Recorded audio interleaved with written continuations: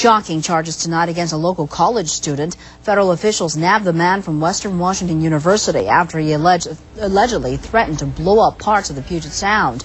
KIRO 7 Eyewitness News reporter Don Scott is uncovering new details in the case and joins us now from the campus. Don?